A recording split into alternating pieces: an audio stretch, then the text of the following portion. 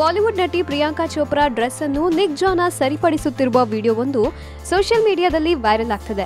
ಇತ್ತೀಚೆಗಷ್ಟೇ ಪ್ರಿಯಾಂಕಾ ಚೋಪ್ರಾ ಪತಿ ನಿಕ್ ಜಾನಸ್ನಿಂದ ವಿಚ್ಛೇದನ ಪಡಿತಿದ್ದಾರೆ ಎಂದು ಸುದ್ದಿ ಭಾರೀ ಸದ್ದು ಮಾಡಿತ್ತು. ಆದರೆ ನಿಕ್ ಜಾನಸ್ ವರ್ಕೌಟ್ ಮಾಡ್ತಿದ್ದ ವಿಡಿಯೋಗೆ ರೊಮ್ಯಾಂಟಿಕ್ ಆಗಿ ಕಾಮೆಂಟ್ ಮಾಡುವ ಮೂಲಕ ವಿಚ್ಛೇದನ ಗಾಸಿಪ್ಗೆ ಬ್ರೇಕ್ ಹಾಕಿದ್ರು. ಇದೀಗ ಲಂಡನ್ನ ರಾಯಲ್ ಆಲ್ಬರ್ಟ್ ಹಾಲ್ನಲ್ಲಿ ನಡೆದ British fashion awards twenty twenty ಒನ್ರಲ್ಲಿ ಆಗಮಿಸಿದ್ದ ಪ್ರಿಯಾಂಕಾ ಹೂವಿನ ಡಿಸೈನ್ ಇರುವ jumpsuit ಧರಿಸಿದ್ರೆ Nick Jonas red colour T shirt ಮತ್ತು ಬ್ಲ್ಯಾಕ್ ಕಲರ್ ಸೂಟ್ ತೊಟ್ಟು ಮಿಂಚಿದ್ರು.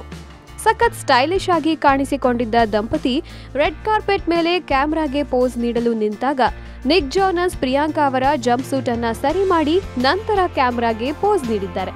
ಇದೀಗ ಈ ವಿಡಿಯೋ ಸೋಷಿಯಲ್ ಮೀಡಿಯಾದಲ್ಲಿ ವೈರಲ್ ಆಗ್ತಿದ್ದು ನೆಟ್ಟಿಗರು ನಿಕ್ ಜಾನಸ್ ನಿಜವಾದ ಪರ್ಫೆಕ್ಟ್ ಜೆಂಟಲ್ಮ್ಯಾನ್. ಪತ್ನಿಯನ್ನ ಬಹಳ ಪ್ರೀತಿಸ್ತಾರೆ ಮತ್ತು ಕಾಳಜಿ ವಹಿಸ್ತಾರೆ. ಹೀಗೆ ಹಲವಾರು ರೀತಿ ಕಾಮೆಂಟ್ ಮಾಡುವ ಮೂಲಕ ಮೆಚ್ಚುಗೆ ವ್ಯಕ್ತಪಡಿಸುತ್ತಿದ್ದಾರೆ ಡಿಜಿಟಲ್ ಡೆಸ್ಕ್ ಪಬ್ಲಿಕ್ ಮ್ಯೂಸಿಕ್.